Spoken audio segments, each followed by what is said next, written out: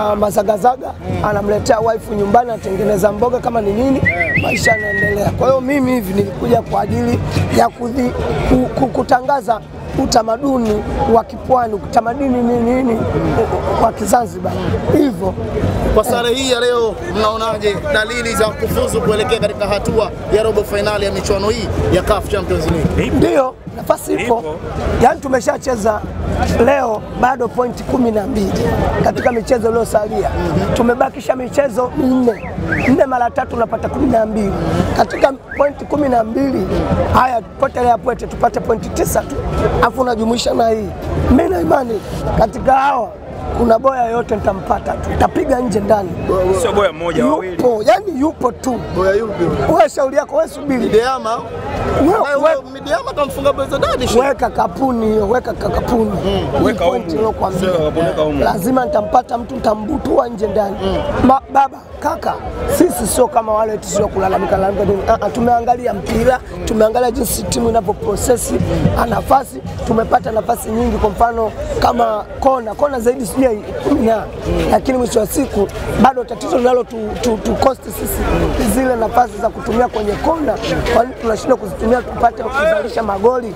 Na kitu kingine niseme tu kwamba labda sio kwamba kufundisha, ila nikaushauri tu kwenye upande wa sabu, tujaribu kuwa tunaangalia zile dakika kumi na tano za mwisho au dakika ishirini za mwisho, tukufanye sabu mapema. Hii inaweza ikasaidia kuendelea kum, kum, kum, kumchanganya hata mpinzani wako, lakini unapoendelea kumpa nafasi, unaona kabisa kuna na, na, nini makosa yanatokea, alafu unachezesha kufanya hesabu, basi unazidi kumpa nguvu mpinzani. Matokeo yake anaitumia nafasi hiyo kuadhibu. Naam, wapinzani walikuja kwa lengo la kutafuta sare. Mimi naweza nikasema kwa wao wamenufaika, Ah, kwa uliona walivyokuwa na dominate game, mara wanalala nini, muda unaenda tu eh, lakini wakifanya mashambulizi ya kushtukiza, basi ndio mpira ya leo tumefunika. Tunaangalia mechi inayofuata dhidi ya Mediama. Wao kikosi, naendelea kuwaambia kikosi chetu, nina imani kabisa kikosi chetu kina uwezo wa kupata matokeo kwenye uwanja wa aina yoyote, iwe ni nyumbani au ugenini. Ndio mkapambane, baraka zote si tunatoa, na niwaombe tu, nisisitize kwenye swala la sabu pale tunapoona tume na delay, tufanye sabu mapema. Tumzungu- Tumzungumzie Pacome Zouzoua pamoja na Stefano Aziziki, kiwango chao vipi? Mmekiona kile ambacho wananchi mlichokuwa mkipewa na Stefano Aziziki pamoja na Pacome Zouzoua na Max pia Zingeli, ule MPA vipi, bado ipo? bado ipo, bado ipo. Uh, wamecheza vizuri uh, isipokuwa unaweza ukatumia matokeo mm. labda kwa hukumu uh, wachezaji wetu, lakini bado nafasi, wa, nafasi yao kama, kwa mfano Zouzoua Zouzoua ukimwangalia uh, ni mchezaji yani, kila unajiuliza yani, mchezaji hata wao wenyewe wanakuwa wanajiuliza mara mbili mbili, hivi ni kweli huyu? Hivi huyu ni mchezaji au kaingia tu hapa hapa, wakitoka wanaenda kuulizana kuuliza kwenye benchi la kwenye benchi pale kwenye nini yule kabisa, hivi kweli huyu Pacome ni wa Yanga?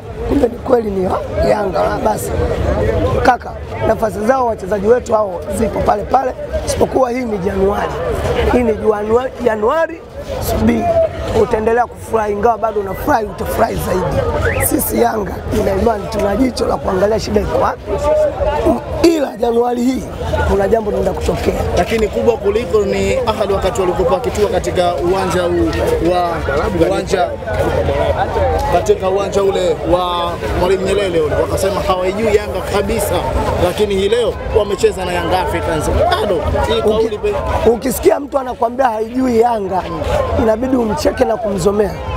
Anajibaraguza, sio kwamba haijui Yanga. Yanga anaijua,